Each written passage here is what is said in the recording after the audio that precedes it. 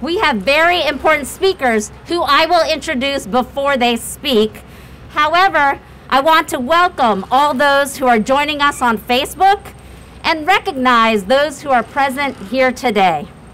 We are honored to have several Korean American, Howard County, and Maryland leaders joining us to today.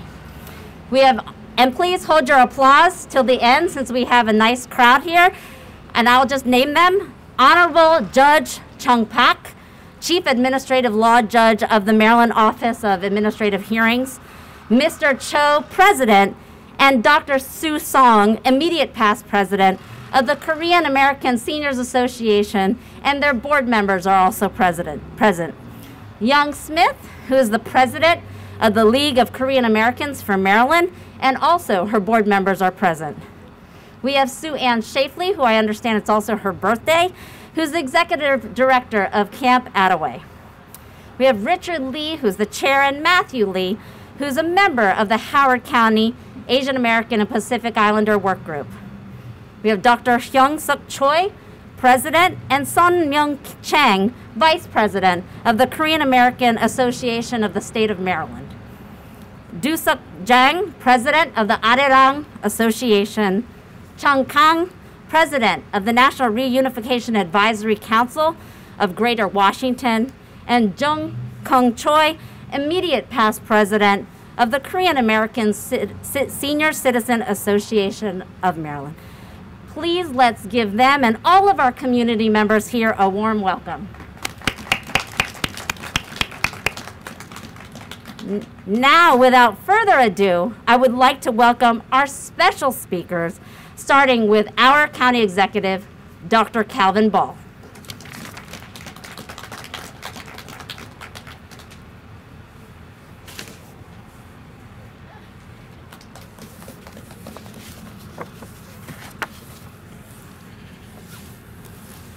Good morning, everyone.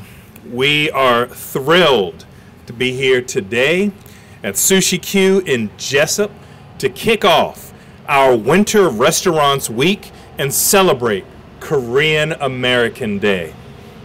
Thank you to Consul General Se Jung Kwan for joining us from the Korean Embassy. It is fitting as this year marks the celebration of 140 years of diplomatic relations between the United States and the Republic of Korea, which sub subsequently resulted in the first entry of Korean immigrants to the United States on January 13, 1903. The hundreds of Korean American owned businesses in Howard County are a vital economic engine that not only enhance the diverse options in our community, but continue to give back and support our neighbors. Thank you to Jennifer Q for hosting us today. You truly exemplify the spirit of Korean American Day. As a Korean American restaurant owner, mother, and community member, you do us all proud. Howard County has one of the best restaurant scenes in the state and the region attracting so many foodies because of our diverse cultural community and our varied cuisines. Now more than ever, it's vital that we support our restaurants, whether you're choosing to dine in or take out. One of the best ways to connect with others in our communities is through a meal. This Restaurant Weeks, we have more than 20 participating restaurants from January 17th through the 30th. So you have so many options. This winter, we're reminded of how important it is to support our small, local businesses here in our community. So make sure that you support our restaurants in the coming weeks and beyond. Our restaurants have been through the wringer over the past two years, changing course with the ups and downs of the pandemic. And together, we've been able to provide more than $6 million in county and state funding to more than 750 of our restaurants to help them through these challenging times, including many of our Korean owned restaurants and businesses. I want to thank again our incredible partners, Amanda Hoff with Visit Howard County, who has been such an incredible advocate for hospitality and all of our businesses. Leonardo McClarty with the Chamber of Commerce, who has been a fierce advocate and supporter, helping to make sure that our businesses had what they need. And of course, our community, who keeps on investing in our businesses because we can get through this together. We need all of our restaurants to succeed, and we need them to be reminded that we have their backs. So, let's make sure that we do our part and eat out. Thank you.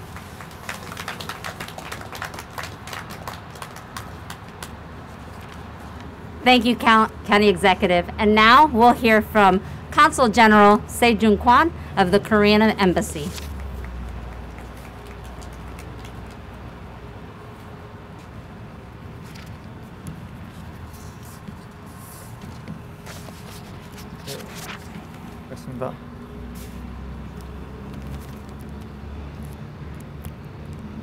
Uh, County Executive uh, Calvin Ball, fellow Korean Americans, and distinguished guests.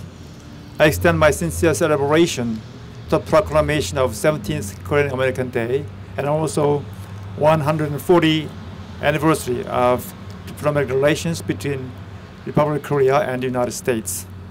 I would also like to express my appreciation to Calvin Ball for organizing today's event.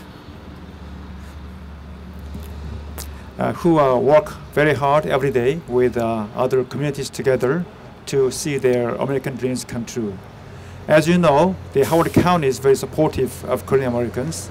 Last year, we witnessed, we uh, held launching ceremony of a Koreatown built on Route 40 with uh, beautiful artifacts of Korean traditional style of gates the Korean American community has established a sound immigrant society in the United States by keeping its hope for better lives, love for the families and neighbors, passion for better education, and diligence for better results from workplaces.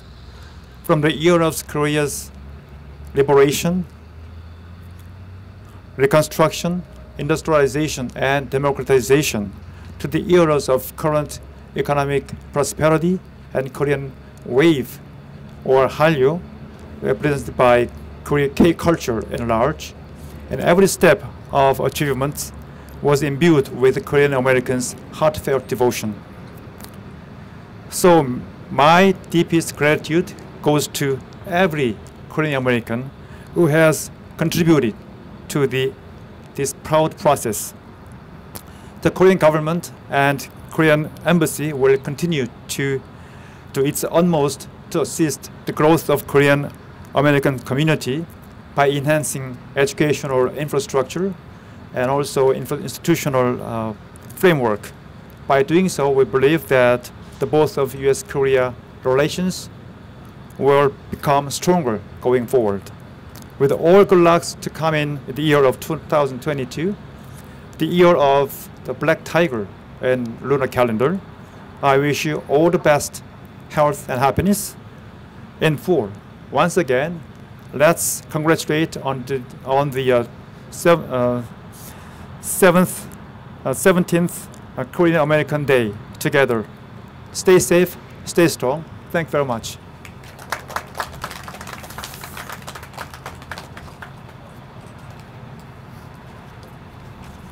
Thank you, Consul General. And now we'll hear from Councilwoman Christiana Rigby.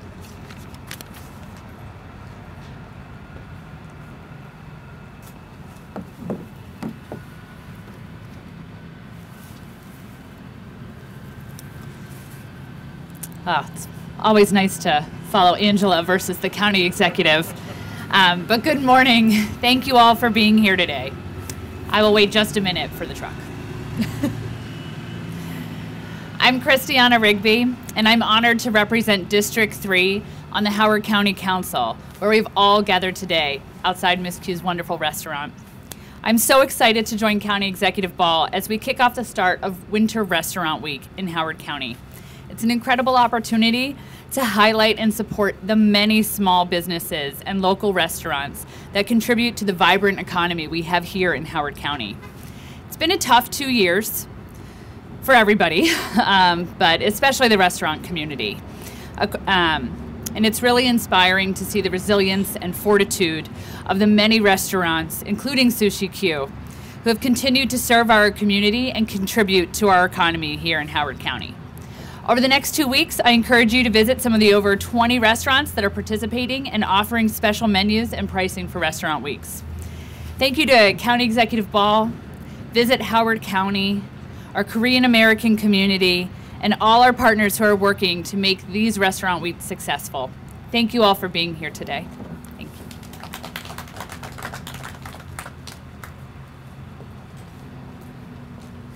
Thank you, Council Member.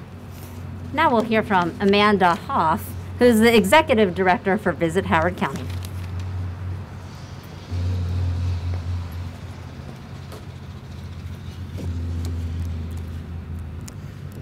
Thank you and good morning. First, we once again thank Executive Ball for his steadfast support of our restaurants and the tourism community as a whole. We are especially excited about our upcoming restaurant weeks and craft beverages promotion. This event has always been designed to give restaurants a boost during the post-holiday lull. This year, not only are our restaurants up against slower times January brings, they are also feeling the most recent impacts of the pandemic with the spread of the Omicron variant, in addition to the many other challenges they face, including staffing shortages, supply chain issues and rising cost of supplies, decreasing bottom lines, and having to make difficult decisions. Our restaurant community is and has been there for residents and visitors throughout or since the pandemic took hold almost two years ago. They have fed us, they have fed our loved ones, they fed our health and safety workers, and took care of their own. While much of the world went virtual and still is, our restaurateurs showed up to work day in and day out. They adapted and are still adapting to ever evolving circumstances and continue to give us the food options we enjoy for our comfort and in many cases rely on. Whether dining at a restaurant or ordering online, it is all it is the people working in our restaurants who make it possible. We hope everyone will take advantage of this special opportunity to show support of our restaurants and enjoy some delicious food while doing so. Our restaurants have once again went above and beyond and have come up with the most incredible Restaurant Weeks menus and specials with over 28 and counting. Yes, that's an update uh, from the 20 that we heard earlier. There is something for every taste and every budget, as well as every comfort level, as our restaurants are following all safety guidelines and have to-go options so you can enjoy at home. Restaurant Weeks and Craft Beverages starts this coming Sunday and runs through January 30th, so there's plenty of time to enjoy. Learn more and see all the participating restaurants at hocorestaurantweeks.com. Thank you and happy Restaurant Weeks.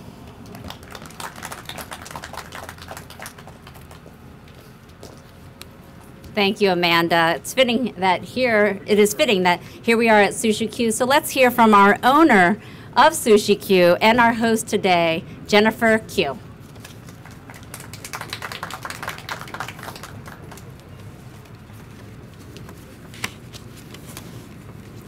Thank you everyone for coming. I am very excited to be here at the kickoff to Restaurant Week in Howard County Restaurant Week on Korean American Day. My parents are immigrated from Korea to America, and I am the first generation of Korean American. And now, as a business owner and a wife and a mom, I am constantly running between multiple restaurants and other business ventures day and night and 24 7. I choose Howard County because of the living, education, and my children are playing school here in Howard County. During the pandemic, The purpose was to start to support community was to start a VLA that we wanted to support the frontline workers. And we love what we did and we thought that it was best time to pay back the community the love that we got. And I really want to thank Howard County Kevin Balls and General Kwan and those who are here to make me a success. Um, to join our Facebook, please support our Howard County Restaurant Week and come in and dine in or carry out. And we have three locations in Howard County. Thank you.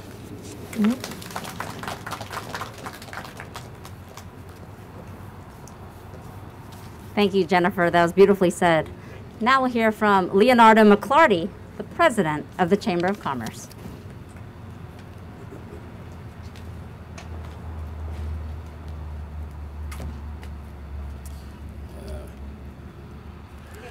Hello and, and good morning. And, and again, uh, it's a pleasure for me to be here. Again, I'm Leonardo McClarty and, and president of the Howard County Chamber. And certainly, as a business organization and, and one that's dedicated to uh, business and, and economic prosperity here in Howard County, it's always uh, great for me to be able to participate in events like this with our county executive, other dignitaries, our partners in Howard County Tourism, as well as um, Economic Development Authority as well. I think it's been said about the, the challenges and the struggles that many of our restaurants have endured over the past couple of years. But at the same time, I think we also continue to see their creativity, their resiliency, their commitment to community during this time. And I think that creates an opportunity for us to show our commitment back to them uh, as well. And so over the next couple of weeks, by us going and, and patronizing and, and even being able to actually enlighten ourselves and change our palate by visiting some restaurants that perhaps we may not normally visit, but it's an opportunity to try new things. And I think, as Amanda touched on it, when you think about some of the supply chain issues and labor challenges, yet our restaurants are still giving specials and various deals to encourage us to come in. I think the least that we can do is to take them up on that offer. And so, again, I thank you all for coming out and also just really want to uh, acknowledge the owner here in, in Miss Q. And when I first pulled up and, and saw Sushi Q7, I said, okay, well, if there's seven, that means there must be a, a six, you know, all the way down to one.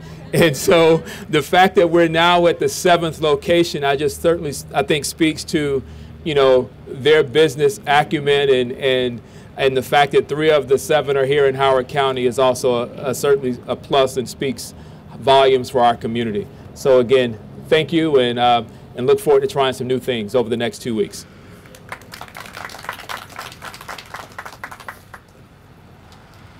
Thank you, Leonardo. And finally, we'll hear from Larry Twele, CEO of the Economic Development Authority. It's always fun to go last. Thank you. I'm Larry Twele. I'm CEO of the Howard County Economic Development Authority. And I wanted to uh, really just uh, say thank you to Visit Howard County and the county executive for, you know, hosting Restaurant Week. The authority was proud to participate in the executive's HOCO Rise uh, program last year, and he mentioned the $6 million of grant funding that went to restaurants to help them through that, that tough time. But what restaurants really need more than that is customers. And this week is a focus on customers. So um, just go out, like Leonardo said, go out, try something new, try something different, and be a good customer uh, all, all, all weeks long. Thank you.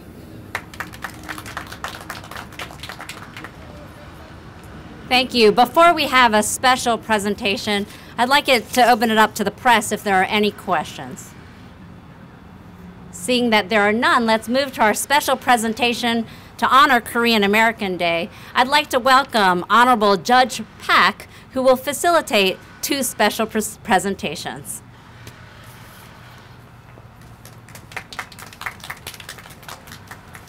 Uh, I want to thank uh, County Executive uh, Dr. Kevin Ball. Uh, but before we have a Korean American Day presentation, uh, I'd like to invite uh, Dr. Hyunsuk Choi from the Korean American Association of State of Maryland, and also Vice President of the uh, Federation of Korean American Associations, Elena Lee.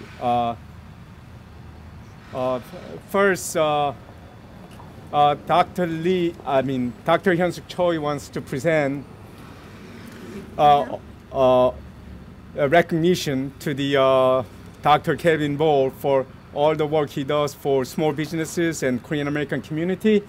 Uh, she, uh, Korean American Association of State of Maryland ordered the uh, plaque, but it didn't come in time, but uh, it has a certificate, so it's, it would like to present the certificate first. Dr. Choi, can you read the certificate?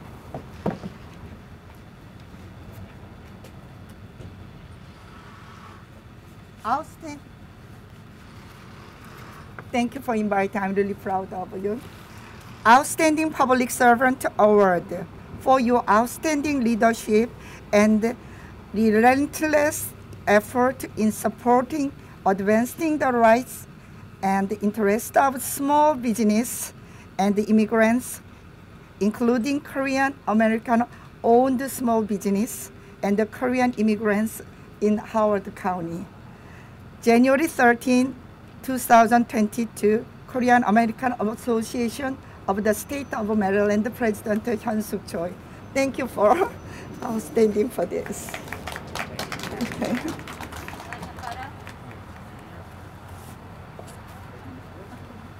Where do you want it? Uh, I'd like to invite the uh, Free American community uh, to go do Oh, okay. okay.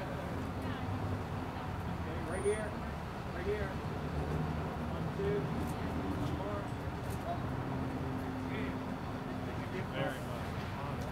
Also, we have... a. yeah. Al- Also, Elena Lee has a, a small gift for you from the Korean American community. It's a small token of appreciation from the Korean American community to you for all you do for small businesses in Howard County and and the Korean American community. I'm going to translate this in English. Um, meetings are precious and relationships should be beautiful. That's what the meaning is all about. You're that special and that too. A pleasure. Yeah. Yeah. Let's another picture.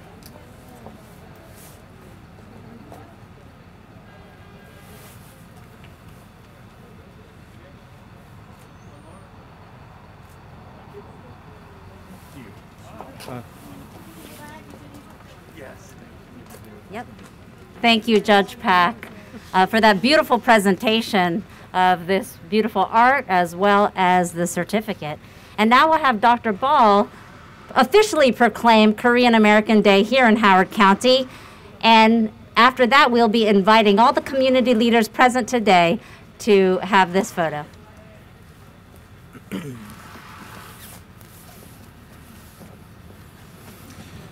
First of all, thank you so much for those uh, cherished honors. Uh, they mean a great deal to me. Uh, I also want to, I was remiss in not acknowledging uh, Larry Twele and our Economic Development Authority. I greatly appreciate their work. They were the ones who, especially early on in the pandemic, when our businesses were uh, having their biggest challenges and we got the Federal CARES Act funding, I was calling them almost daily. How quickly can we get the money to our businesses? And, and they did a fantastic job, and so I want to thank them. So, I have an executive proclamation, and it reads Whereas this year marks the celebration of the 140th anniversary of diplomatic relations between the United States and the Republic of Korea, which subsequently resulted in the first entry of Korean immigrants to the United States on January 13, 1903. For more than a century, this vibrant and thriving culture has shared their accomplishments and talents in business, medicine, science, athletics, and the arts to strengthen our community.